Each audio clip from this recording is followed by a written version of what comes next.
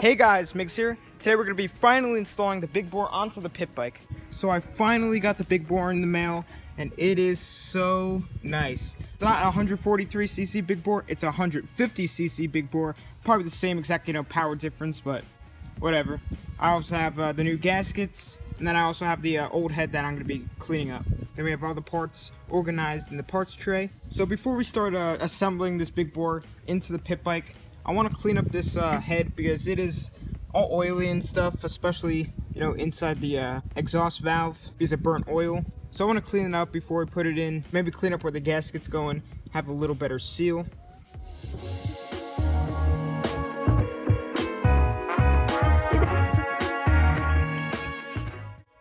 Alright, so that's all I'm gonna clean it up really. Uh, you know, I'm not gonna I'm not gonna take off all of this stuff because that's gonna just take way too long. As long as it's just a little bit cleaner inside of the exhaust valve, just you know, a little bit outside, get off all the little particles that might fall in while installing it. So just clean that up a little bit. So yeah, now that that's clean, we're gonna start uncovering the engine. Start uncovering it. It's been a while since I've even seen inside of here. Hopefully I remember how to put it all back together. Okay, looks like uh, my paper towels and plastic bag work pretty well. All right, so now what we have to do is take off the piston, which is probably gonna be kind of difficult because of the how small the little C-clips are in there. So I'm gonna try and record it as best as possible getting this out. It's gonna be kind of hard because I have to get really close into there.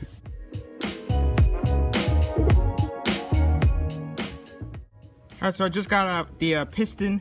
All you have to do is take out one side of the C-clip and then it can just slide right out. But now that that's out, now I'm to start installing the new piston. Actually, instead of putting on the piston right away, I'm going to take advantage of, you know, having more space to work in here. And I'm just going to try and scrape off as much of excess gasket off the engine as possible, just so we could get a better seal.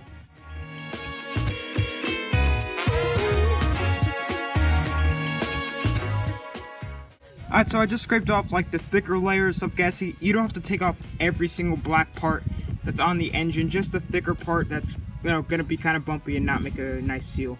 Alright guys, now we're gonna be installing the piston. I already oiled the uh, wrist pin and the side skirts on the piston. So you just slide the connecting rod between the piston then slide in your wrist pin. Sometimes the wrist pin won't want to go in all the way, so you could just give it a little light tap with the hammer and then it'll slide right in.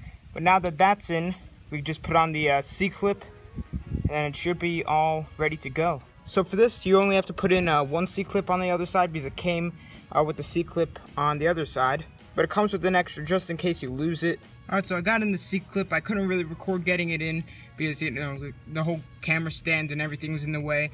But I got it in, and now we can start working putting on the whole cylinder. So before putting on the cylinder, you need to put on the new gasket. So now we're going to be sliding on the, uh, the whole cylinder. And make sure that you oiled up the cylinder walls because, you know, it's good to keep it lubricated once you put the piston in and then it starts running.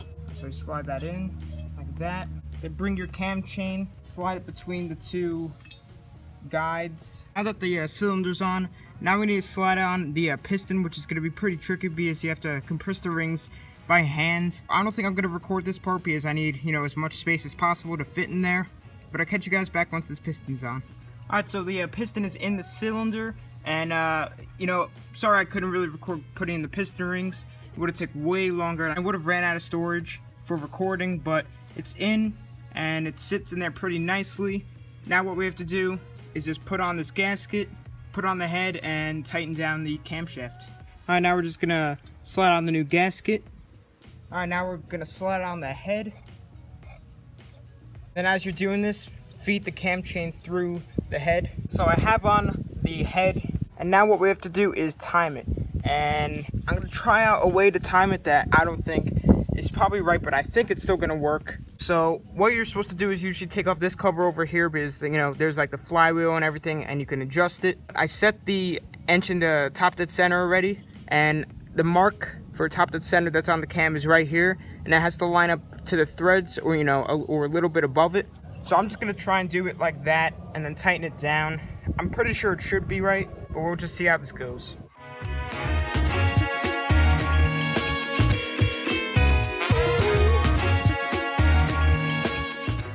Cam is on and now we have to torque it with the torque wrench to uh, about eight and a half foot pounds.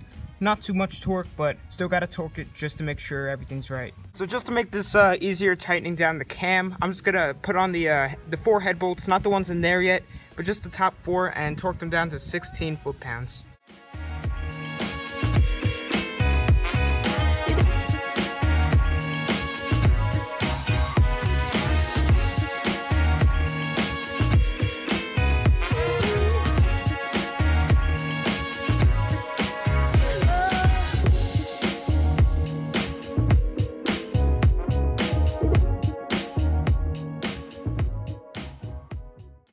Torque down the uh, the cam bolts. Now I need to put on the cam tensioner.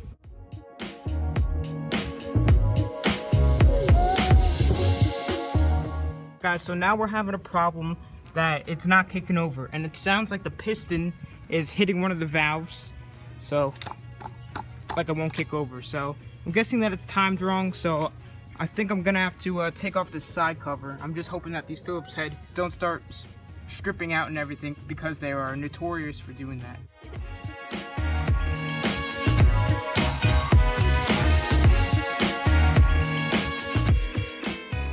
So even though I just uh, unbolted all of these uh, screws, I think I just got it timed right just by putting the spark plug in the, I mean the screwdriver in the spark plug hole, finding that's on, that it's on top dead center and then lining it up.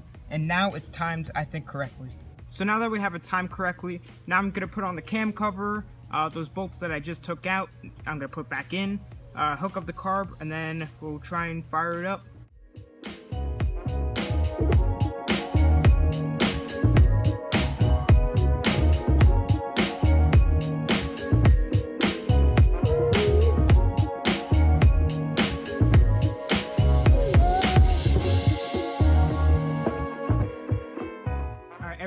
Back together. Now I'm just gonna pour in some oil and I hope that this thing will fire up. Alright guys, it's time to see if this thing will fire up. I really hope it does. Alright, so the pit bike is not starting and I know exactly why. The piston and the valves are hitting and I think I know solutions to this. I've seen some people, uh, you know, stack up uh, gaskets before, but if you guys know, let me know down in the comments. Or do you think maybe I should just return this big bore and just do a, and then just put in new piston rings and put in the older piston. Pretty bummed that it's not starting, but you know, what are you gonna do? But stay tuned for motorcycle builds. My battery came today, so I'm gonna be working on that. But I hope you guys enjoyed this video. Let me know down in the comments, you know, maybe ways to fix this if you guys know. But thanks for watching. Please subscribe, like, comment, tell your friends about the channel.